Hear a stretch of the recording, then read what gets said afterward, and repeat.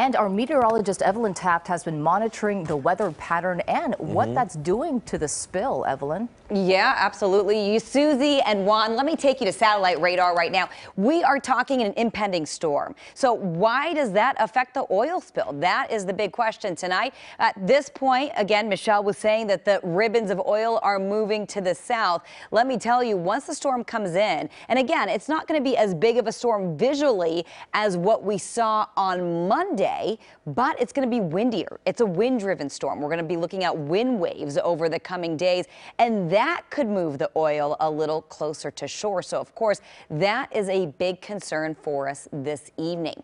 As we get a look right here, you will see the storm inching closer to us. Of course, we are concerned about the oil offshore right now, and we're sort of trying to get a good gauge of where it will be headed as the wind comes in. At first, we're going to start off with southwesterly winds between 10 and 15 knots. The winds are going to intensify a little bit as we head into Friday. So it's going to be Thursday and Friday where the storm comes in, Thursday night through Friday. Now, by Friday, it gets a little windier. And by Friday night, that's when the winds are set to peak. We could see winds up to 25 miles per hour out of the southwest, or actually knots rather, because we're talking about nautical miles uh, on the ocean.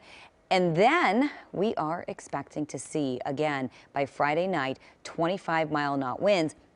And with that, we could get some movement oil wise. So, of course, we're continuing to track this for you. We're continuing to forecast this for you. But, of course, at this moment, we are looking at a wind driven storm, much windier than what we saw earlier this week. So, even though we may not be expecting rain and lightning, we are expecting wind and wind waves. So, of course, that could affect vessels on the water. That could also affect the oil.